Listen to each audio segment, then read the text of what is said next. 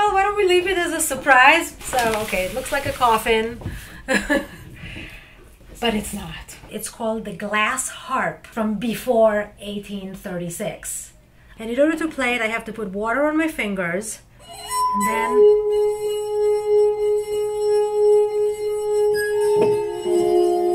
Um, it was right after 9/11, and um, I was just walking around the street. Didn't really want to play music because I didn't want to be around the drugs and alcohol. And I looked down and I saw these sewer covers, and I thought maybe I could do something with them.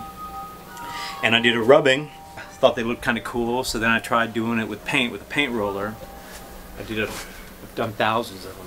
I've guesstimated 7,000 based on how much um, canvas I've gone through.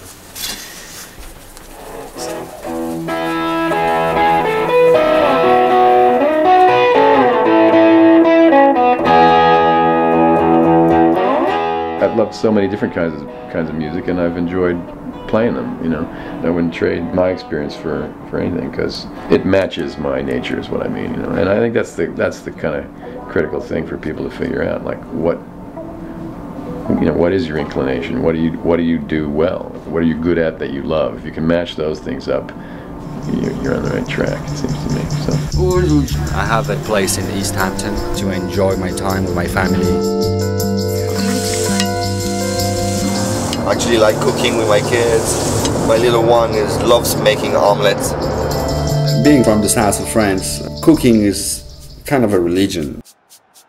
Soccer just happened to be a great excuse to document Africa, really, for me. Not in the quote unquote Joseph Conrad way, you know, but in my way, because I feel like photography is such a great tool to decolonize colonial ideas.